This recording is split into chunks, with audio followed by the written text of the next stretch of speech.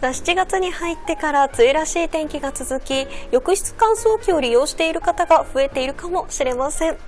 そこで効率的に洗濯物を乾かすためのポイントをライオンお洗濯マイスターの大貫さんにお伺いしてきました。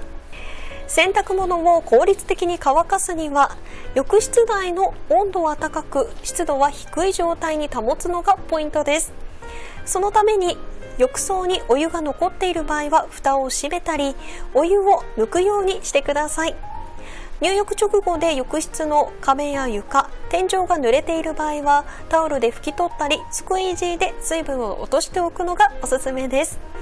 乾燥中は浴室の窓や扉は閉めておきましょう。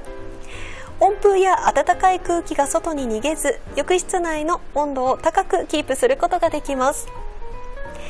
温風が直接当たる風の吹き出し口に近いところが最も洗濯物がよく乾きます。